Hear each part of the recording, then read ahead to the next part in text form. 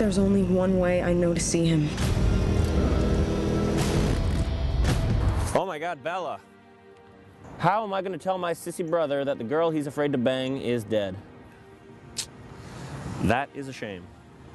Just you and me, dead Bella. You don't mind if I have a little taste, do you? Nah, you're dead. Do you care? Okay, here comes daddy.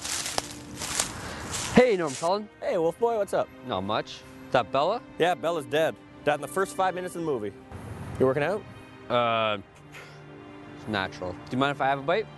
You want a bite of Bella? Yeah, go ahead. Free world. Thank you.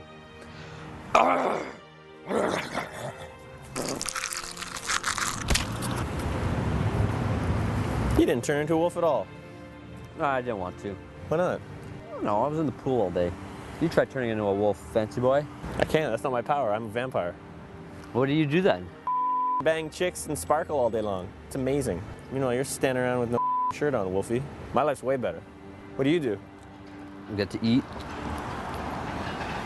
and growl. See you in the third installment of Twilight. Take care, Norm. Cheers, bud. Yeah.